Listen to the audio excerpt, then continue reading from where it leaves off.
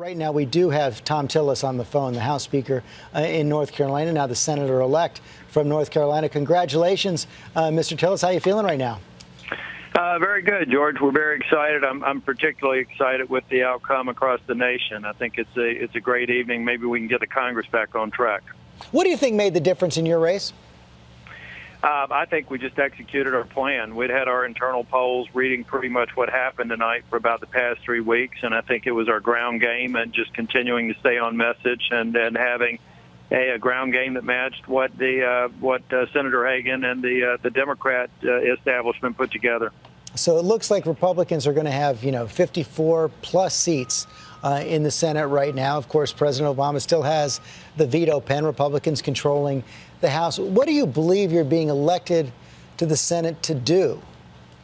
Well, I, I think we're being elected to have the Congress function again. I, I believe that we need to do uh, we, we need to lead in a very different way than Senator Reid has led. I think that we need to focus on where we can agree. I think it can begin with looking at the dozens of bills that have come out of the House with bipartisan support and prove that we can govern things like the XL pipeline, regulatory reform um, things that, that will create jobs and use that as a basis for proving that Democrats and Republicans can work again and send legislation to the president's desk that hopefully he will support.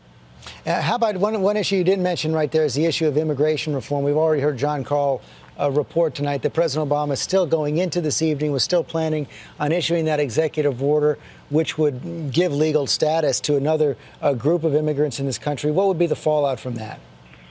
Well, I, I hope that the president recognizes that I believe at least a part of the environment tonight was shaped by the anticipated changes that he wants to make unilaterally. I think he should come to the uh, to the uh, House and the Senate and maybe use this as an opportunity to come up with something that we can all agree on. And I think first among those have to be sealing the border.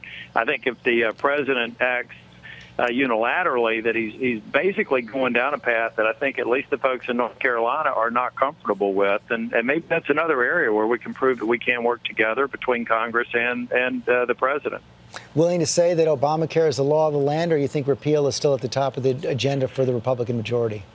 Well, I, I think it's very likely. I, I, I, for one, would vote for a repeal bill, particularly a bill that, that replaces aspects of it that get back to solving the fundamental problem, which is the 30 million Americans that have a health care problem that we should solve. But we should get away from policy that's destabilizing the environment for some 250 million Americans. And also, I think one of the reasons why our economy is not moving as quickly to recovery as it could.